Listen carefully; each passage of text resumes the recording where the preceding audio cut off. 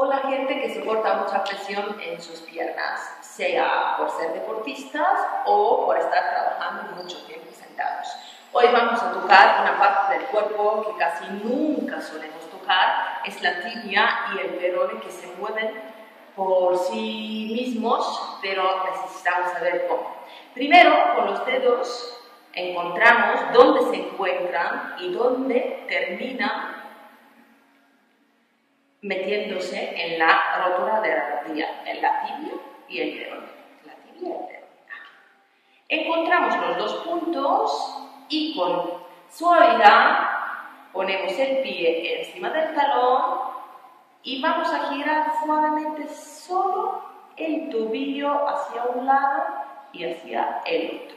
Con este simple movimiento ya veréis que consigamos mover un poco los dos huesos de la pierna que nos va a dar mucha vida a la rodilla. Luego nos vamos a tumbar boca arriba colocando algo debajo de la cabeza.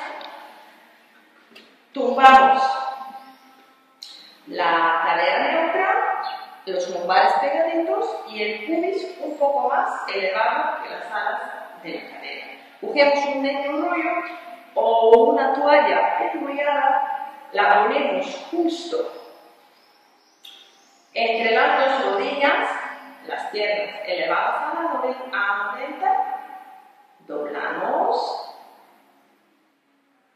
levantamos, doblamos, levantamos y después de este ligero movimiento vamos a botar las rótulas de la rodilla hacia dentro y hacia afuera.